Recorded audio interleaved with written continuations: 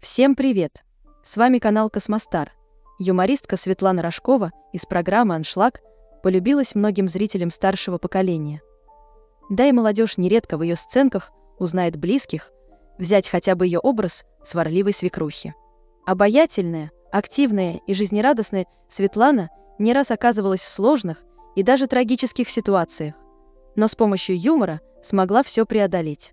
О том, как ее потеряли родители, как сама осталась с малышом на руках, как пережила две клинические смерти и сейчас продолжает успешно бороться с болезнью, мы и расскажем сегодня.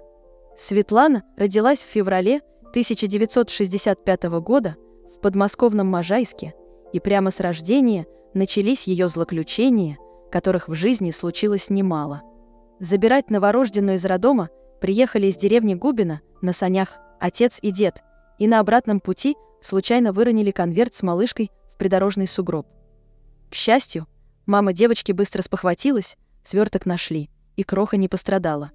Несколько лет Света прожила в деревне, а потом переехала с семьей в Кисловодск, где матери предложили место администратора филармонии на Кавминводах, там и выросла.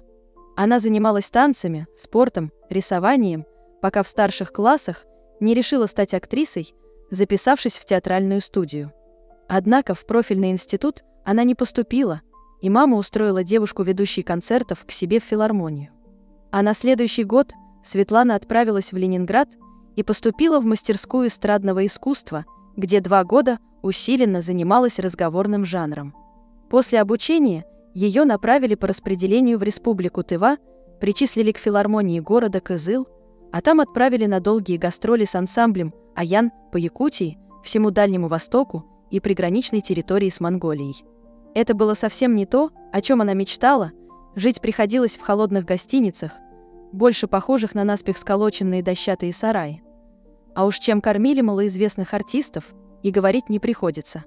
При первой же возможности Рожкова взяла расчет и устремилась в Москву, аргументируя свое решение недостатком знаний и желанием продолжить обучение. Ей удалось поступить на заочное отделение ГИТИСа, подрабатывала везде, где только удавалось, а получив диплом, вернулась в филармонию Кисловодска.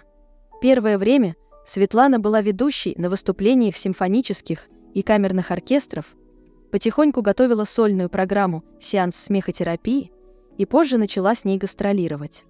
Популярность Рожковой росла с каждым выступлением, зрители полюбили эту яркую и смешную артистку – с нетерпением ждали каждый новый номер, а в 96 году она была удостоена почетного звания заслуженной артистки России.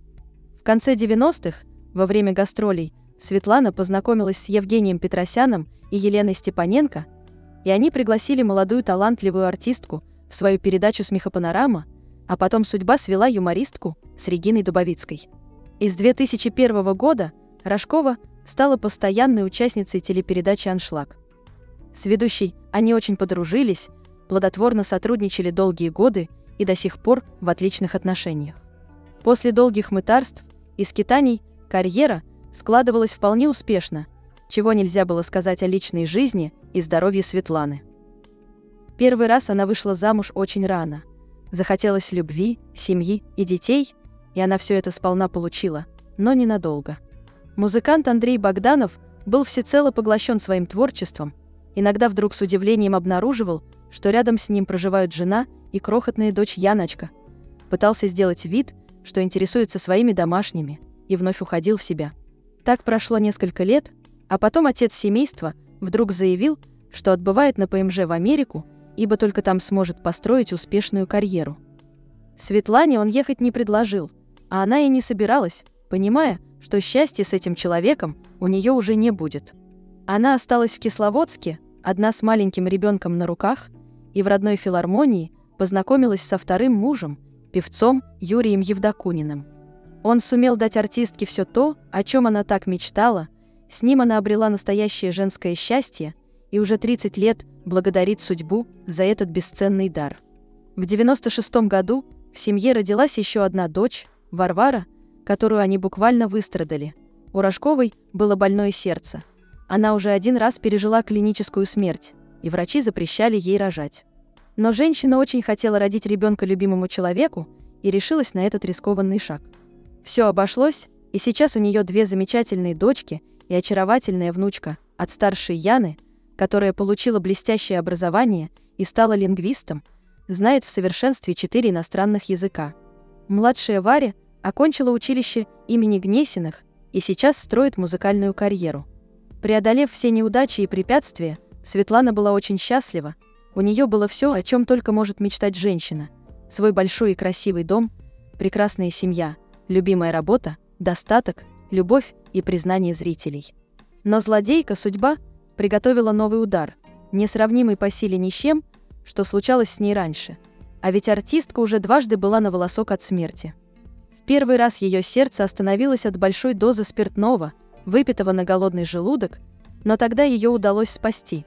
Это случилось во время гастролей, когда вечно полуголодные артисты решили обмыть очередной успех.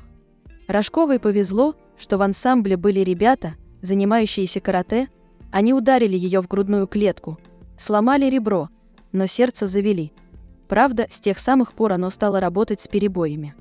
Второй раз, уже через много лет, во время прогулки с мужем по Кисловодску, Светлану сбил автомобиль. Я оказалась на лобовом стекле. От тяжелых травм спас свитер, который не дал сползти под колеса. Водители так и не нашли. Помню, видела свет в конце тоннеля. Летела к этому сиянию, как бабочка. Казалось, там кто-то есть, и он говорит со мной. Отчетливо слышала фразу ее время еще не пришло. После этих слов очнулась, вспоминает вторую клиническую смерть юмористка. И вот новый диагноз, прозвучавший как гром среди ясного неба, билиарный цирроз печени. Это аутоиммунное заболевание, при котором организм атакует орган, принимая его за врага, и начинает сражаться с ним. Врачи отпустили артистке слишком мало времени, всего полтора года, но она не намерена сдаваться. Светлана сразу начала лечение и выполняет все предписания врачей. Ходит пешком не меньше пяти километров в день, работает на своем приусадебном участке. Выращивает овощи и зелень, ведет здоровый образ жизни, соблюдает специальную диету и старается не испытывать стрессов. И, конечно, продолжает радовать своих поклонников смешными сценками и шутками в Инстаграм. У нас принято думать, что если цирроз печени, значит человек бухал. У меня же с алкоголем не заладилось с самой юности. Стараюсь не думать о болезни и просто живу. Я настроена еще долго жить и бороться, говорит юмористка. А совсем недавно артистка призналась, что ее старшая дочь столкнулась с тяжелой болезнью. По словам Светланы, у Яны несколько месяцев назад диагностировали злокачественное новообразование в кишечнике. Сейчас дочь проходит реабилитацию после хирургического вмешательства –